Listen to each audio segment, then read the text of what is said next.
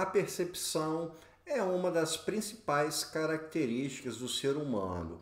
E no século XIX houve uma mudança na abordagem sobre esse sentido humano de forma a torná-lo mais moldável, mais maleável para uma sociedade industrial. Vamos falar mais sobre esse assunto? Então clique em curtir, se inscreva e vamos embora!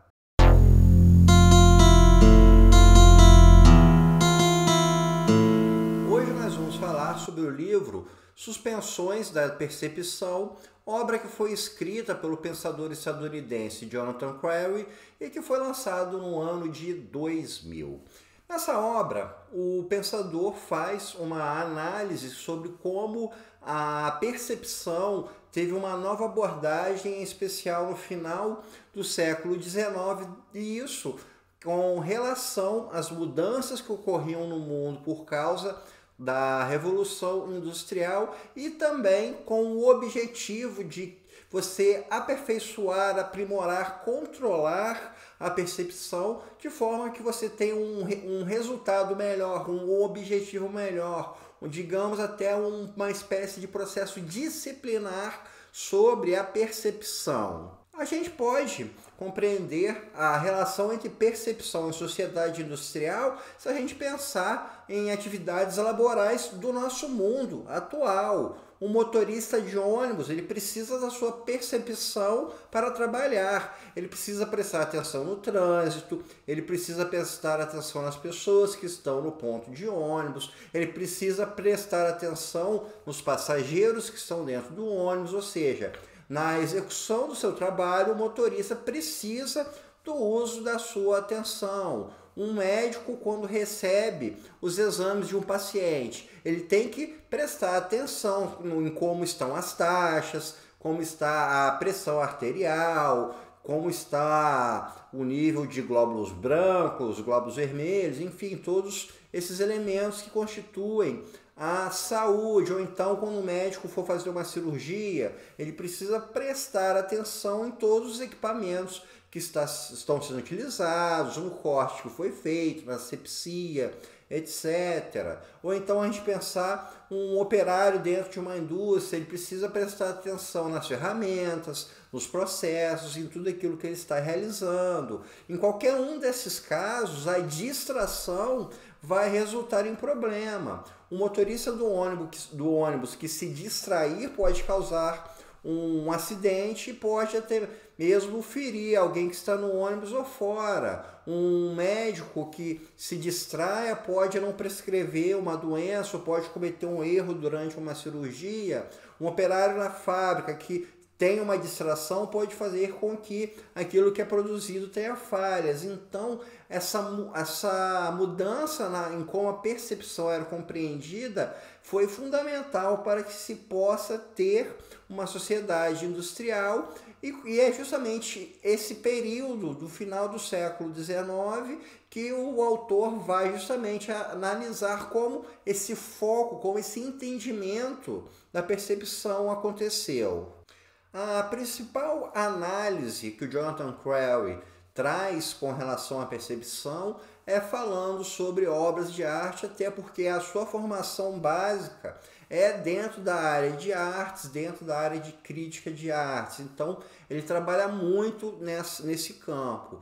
Ele nos traz, por exemplo, obras de autores do final do século XIX, como Manet, Cézanne e outros, e ele justamente vai analisar como esses autores estavam demonstrando dentro da sua produção artística como a percepção estava sofrendo uma mudança. Então, ele analisa como o campo de visão, como as expressões, como tudo isso estava tendo uma mudança nessa perspectiva das obras de artes do final do século XIX. Uma outra análise que ele nos traz é pela perspectiva da ciência, pela perspectiva da psicologia, pela perspectiva médica, pelos estudos que eram feitos com relação ao funcionamento da mente humana e sua correlação com a percepção. Afinal de contas, como a percepção molda a subjetividade? A percepção, ela está ligada à vontade? A percepção está ligada à ação? A percepção, ela trabalha o ser humano de qual forma, tanto no seu interior como na forma como ele lida com o mundo exterior, como funciona tato, como funciona o olhar, o, como o ser humano se distrai, como ser, quanto tempo um ser humano consegue focar no mesmo objeto. Tudo, todos esses, todas essas foram perguntas que foram realizadas no século XIX e foram pesquisadas pela ciência. Então, a ciência teve o seu foco na compreensão da percepção e até mesmo em formas de você melhorá-la, de você conseguir é, fazer com que o ser humano tenha uma melhor percepção. A gente pode compreender reflexos disso no mundo atual, por exemplo, como na questão do diagnóstico e tratamento de TDAH, né, que é o transtorno de déficit de atenção com hiperatividade. Por quê? A criança com TDAH tende a ter um menor desempenho escolar. Com um pior desempenho escolar, ela vai ser um trabalhador menos útil, digamos assim, menos funcional. Então, é preciso tratar o TDAH, é preciso tratar o problema de percepção, o problema de atenção. Então, a, a ciência se debruçou sobre esse problema para resolvê-lo. Né? Um adulto com TDAH vai ser um profissional menos menos capaz, digamos assim, vai ter maior dificuldade para entrar no mercado de trabalho, será menos produtivo. Então, isso precisa ser tratado. Ou então, o uso de ritalina para conseguir determinados objetivos com relação à concentração, com relação à atenção. Isso é relativamente comum entre estudantes que, para estudar para uma prova, tomam ritalina. Isso é algo que acontece, ou seja, para você ter um desempenho maior para o uso da sua atenção, como por exemplo uma prova numa faculdade, uma prova na escola, o uso de uma medicação para melhorar essa percepção é algo que se coloca em prática, ou seja, a atenção é algo tão necessário para que você tenha o funcionamento da sociedade industrial e que você tenha a introdução do ser humano dentro dessa sociedade industrial que existe até mesmo uma base medicamentosa para isso. Outra abordagem também que o Crowley faz é através da filosofia, como a questão da percepção foi trabalhada por esse campo do saber. Aí a gente pode pegar desde o Descartes com a sua ideia do penso logo existo, com o seu questionamento com relação ao ceticismo, se aquilo que é visto pode ser considerado como real, indo até Kant, que falava justamente que o ser humano tinha uma percepção do mundo e através dessa percepção ele criaria uma série de juízos e iria também para o Schopenhauer, que iria falar que o ser humano tem a vontade. Então, não necessariamente o ser humano ele perceberia o um mundo e teria uma formação de juízos ou uma busca por uma razão. Não, ele também teria uma série de outras motivações em si que não seriam necessariamente racionais, como é o caso da vontade e também a escola de Frankfurt, que foi uma forte crítica, que traçou uma forte crítica ao capitalismo, à sociedade industrial, que também trabalha com relação a isso, como a percepção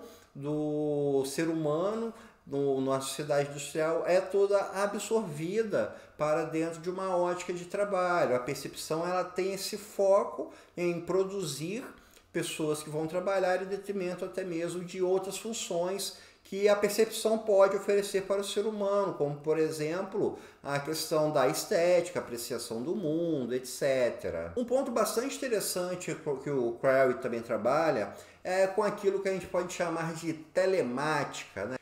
A telemática está ligada à criação de novos equipamentos, novas tecnologias no final do século XIX que alteram a forma como o ser humano lida com imagens. Essas tecnologias a gente pode resumir na fotografia e no cinema.